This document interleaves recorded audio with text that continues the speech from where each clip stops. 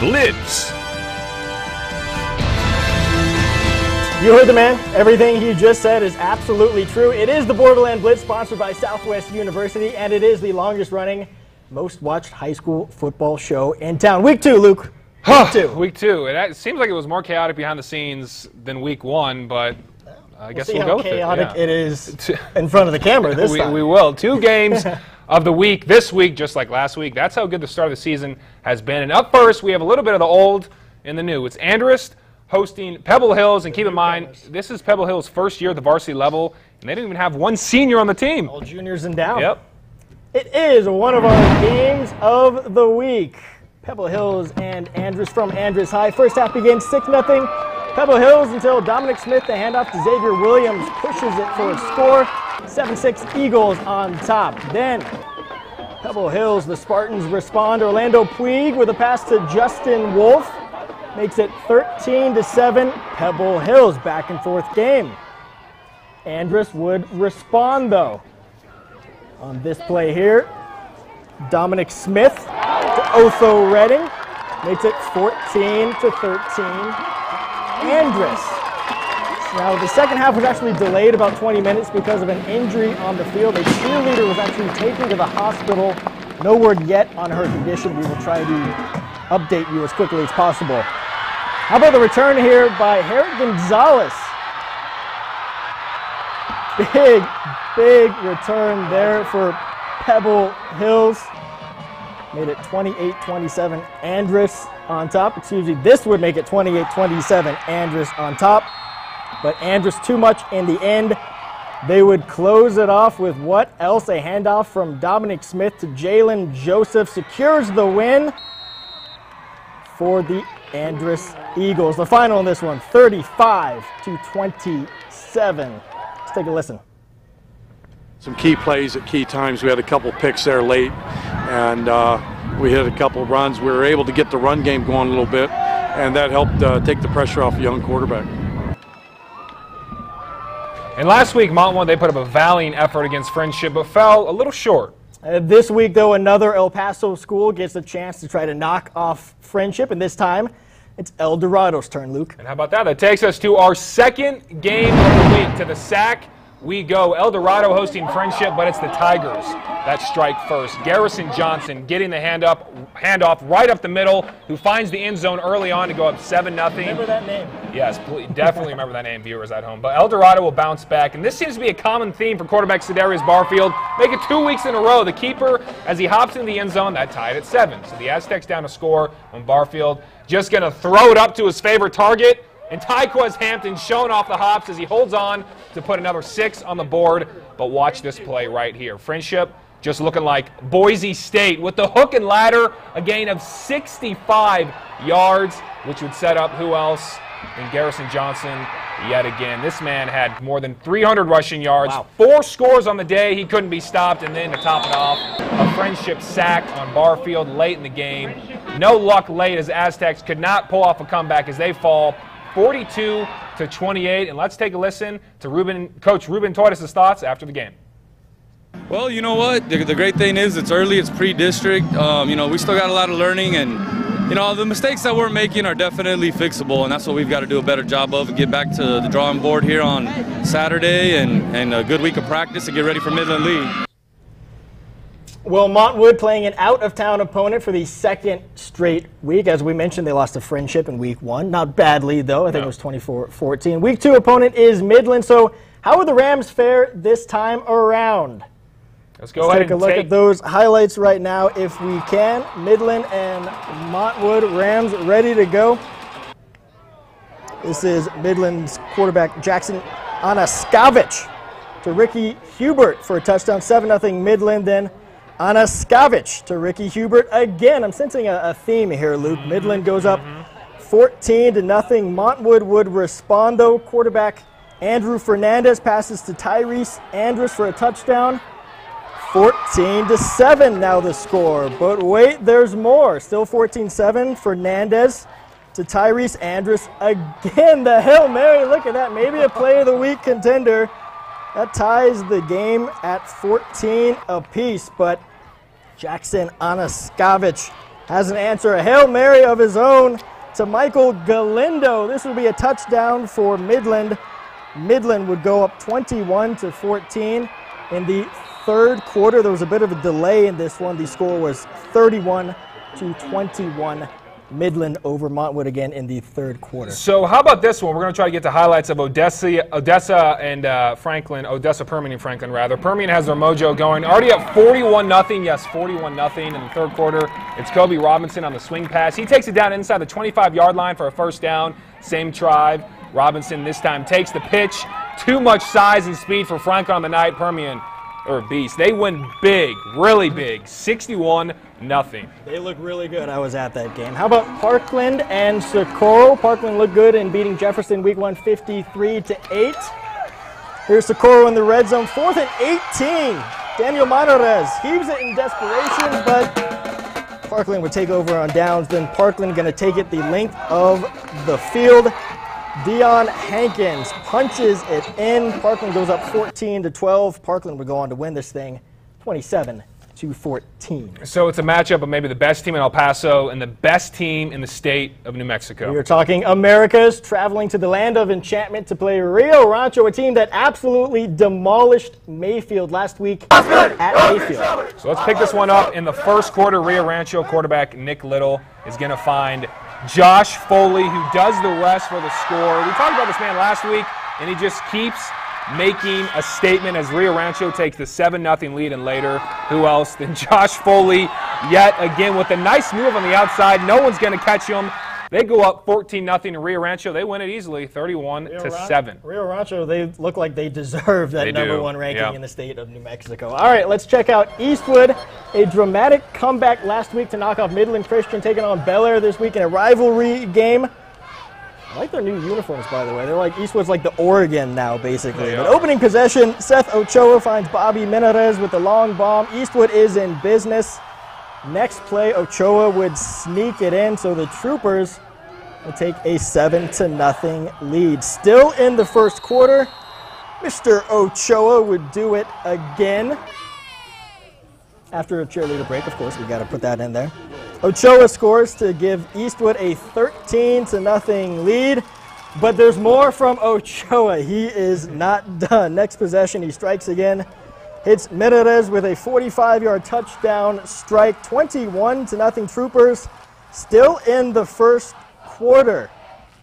Second quarter, how about more from Ochoa? Finds Malik Myers with a touchdown strike. All Eastwood, all day long, they go on to win by a final of 50 to 20. He went undefeated at JV level, and now he's doing quite a good job on the varsity I'd level. so. Yeah, to say the least. Del Valle hosting the Mayfield Trojans. This one started out slow, but it picked it up in the end of the first. Mayfield's Tory Lachlan scrambling left, heaves it downfield, and he's going to connect with Gavin Swinson wide open. He stays in bounds, goes 70 yards to the house from the seven zip lead, and Del Valle, they're going to need a deep breath after that one. But- Swinson, the Aggies commit there. yeah, that's right. But the very next play on the kickoff, Del Valle returns it 100 yards for the score. Jose Valenzuela, a huge special teams play to tie it up, but it's Mayfield who wins a very close one by just two points, 23 to 21. You know, I like those Las Cruces El Paso matchups. We don't have a, a lot of them. That was one of them, but that's a huge, huge win for Mayfield, Mm-hmm. especially after Rio Rancho really took them apart. And on the road too. Can't one. can't argue with that one. Definitely. Well, you know, it's that time of the week. Some would say, I personally say, it's the best part of the show. The War of the Week. What do you think about it? You saw it the first week. I think people are tired of looking at us. They'd rather look at uh, Brittany Carlock and Amy Solis. Take it away. What's up, guys? I'm Brittany Carlock, and we're at a huge rivalry game this week. It's the Battle of the Helmets. So here to help me out is Amy Solis, and she's going to introduce our first team. Amy. Hey guys, to my left, I have the Bel Air Highlander cheerleaders. Ladies, are you ready? All right, well, I did not graduate from Eastwood, but Adrian Ochoa, the producer, he did, and he'd be really mad if I didn't somehow represent him. So I'm cheering for the Troopers. Ladies! One, two, three. Come on, Bel Air. Come on. Eastwood looks like getting out of the cars. Butler's starting to pull. Come on, Eastwood, come on. They're struggling. Eastwood. Butler has it, guys. Butler has it.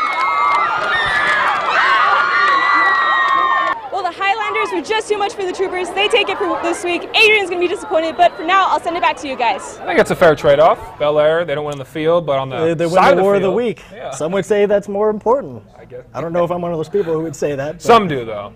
a win is a win somehow. Well, Las Cruces High, they had to travel all the way to Albuquerque for its first game, a win over El Dorado of New Mexico, not El Paso, El Dorado.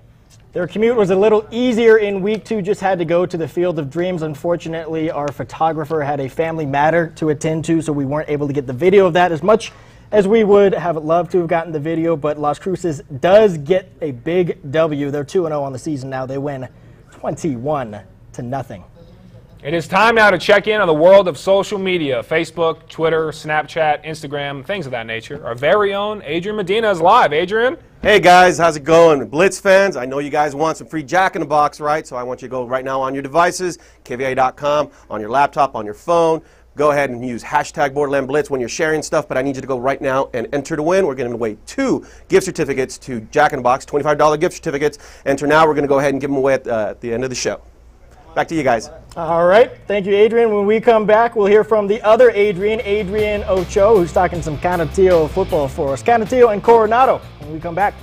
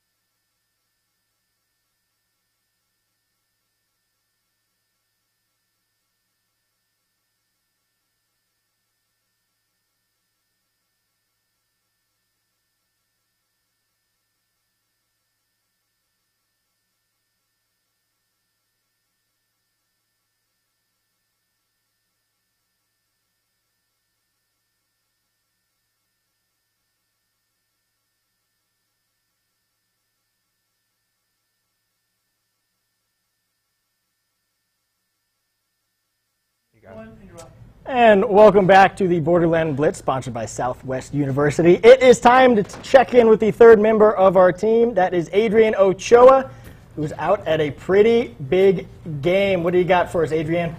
Well, that's right. Coronado taking on Canutillo. It was Thunderbirds versus Eagles. And uh, who could forget uh, Canutillo two years ago making it to the state Final Four? And now tonight they had to take on the Thunderbirds. Let's take you down to Canutillo. And this year so far, it's been pretty good for Canutillo, 1 0. And again, tonight they hosted the Coronado Thunderbirds out of 6A. The T Birds are another team looking to make it back to the playoffs. And in the first quarter, it was all about the Canutillo defense. Coronado's Alex Chavez, nowhere to go. He gets stuffed. Canutillo head coach Scott Brooks had to rally the troops in this one, especially the offense. No score until the second quarter. Canutillo quarterback Danny Alvarez will roll to his right and hook up with a wide open Joseph Boss. Joseph Boss, welcome to End Zone City. And take a look at what happens here on the extra point. It gets blocked, picked up by Coronado's Josh Shapiro, and watch this hit. Get down. And he'd get taken down, but the Thunderbirds would be penalized for a block in the back. That would been that was assessed on the kickoff. Canutillo up six to nothing. And the only other highlight for, for Coronado came right here. Juan Pablo Romero with a 39-yard field goal. T-Birds down six to three. And Canutillo would march down the field right here from 12 yards out. The handoff to Aaron Moya, and he cashes it in. It was 12 to 3 at the half, and the Canutillo would just add a, a field goal in the second half They win by a final of 15 to 3. The Eagles are now 2 0, while the Thunderbirds drop to 0 2. So a big win for Canutillo, taking down another 6A team. They'll try to make it 3 0 when they visit Bel Air next week. I'm back to you guys. Maybe, All right, thank you, Adrian. maybe another trip to the Final Four. It's a little early, but hey, you never know. It's 3 0. I talked to their coach Scott Brooks earlier in the season, and he uh, he was downplaying, I think, how good this team actually is. Is they look really impressive in their first uh, couple it. of weeks. Moving right along, the East Lake Falcons taking on the Chapin Huskies. Eastlake still looking for their first win of the season, while Chapin seems to be in good shape despite losing wideout Brandon Bullitt to the University of Arizona. So who would capitalize week two out at Irvin High? We pick it up in the first quarter. Chapin quarterback Anthony Bayard hits a wide open Mikey Leal for the score. Huskies go up 7 0. So right before halftime, Baird again, but this time he's going to find his running back, Matthew Zubiate, on the screen who goes the distance, following his blockers like coach always taught him to. 5, 10, 10, 5 into the touchdown, into the end zone rather. Chapin takes the 14 0 lead, and that is how they win it. 14 0 your final score. Alrighty, the Hanks Knights still in search of win number one, taking on El Paso High. Let's go to the highlights for this one. Late first half, Hanks driving fourth and one inside the 10, but Rigo Jimenez is denied by Gus Alba. The drive stalls. Tigers, feed me. Now El Paso on the move. Anthony Escobedo finds Javon Thomas inside the 10 yard line. Then, with 18 seconds left in the half, Nico Pomas takes it in to give the Tigers a 21 14 halftime lead. Let's go now to the second half. El Paso strikes it big. Pomas breaks into the clear and he is gone. El Paso goes up 27 to 14. They go on to win it 48 to 31. The Isleta Indians had a solid showing against Burges last week, so how would they fare taking on the winless Irvin Rockets? Well, we pick it up in the second. Irvin looking to add to their lead with this field goal. But it is blocked in return for a big game by Isleta's Aaron Saldivar. He timed that jump of the snap perfectly. Still 7 0 though, Irvin on top. So on the next play, off a busted play, quarterback Damian Solis really writing his own script off that bad snap with the keeper. And he's going to actually get into the end zone. It wasn't according to the play, but he made it work. He improvised, so they would take the 8 to 7 lead. And later in the second, from the 10 yard line, running back Reynaldo Flores gets a block and does the rest as he is going to run it all the way to the end zone. That man needs some oxygen, he needs some water, he needs everything he can to relax from that run. But Isleta takes the I need 14. oxygen. Yeah, I think we all do. Isleta, though, they're going to win it 47 to 14. On to Jefferson and Riverside. The Rangers had an easier test last week against Fabens, but the Silver Foxes hanging tough. Jefferson scores here from five yards out to make it six to six later. It's a huge fourth and one for the Rangers. Quarterback Cesar Garcia throws it up. Jordan Martinez makes the play for him to keep the drive alive later in the drive from two yards out. Running back Isaiah Rios looking for the end zone, and he would find it to give the Rangers the lead. Riverside goes on to win 26 to 6. Fabens and Horizon. By the end of this highlight, one of these teams will have their first win of the year. So who will it be? I guess this play is going to tell the story of the game. Fabens punting away to Horizon, and it's a little weird because no one's going to touch the ball. So the Scorpions say, "All right, I'll take it." Marco Alvarado with a gimme picks up the football and takes it 40 yards to the house. Talk about a bizarre turn of events. Horizon, they win it easily, 42 to six. So both those teams were winless entering the week. We also have Dimming visiting Burges. Both these teams looking for a win. The Mustangs up 34 to nothing, nearing the end of the half. Daniel Garcia with the interception right into the hands of Gerardo Hernandez. One of the many big plays for the Mustangs as they blow out Dimming in this one, 48 to seven. And another matchup for you, Bowie looking to make it 2 0 to start the young season against Silver City, and they did exactly that. Bowie wins it pretty easily as well, 28 to 6. Plenty more coming your way. A few more big matchups to get through. More scores and highlights when we come back.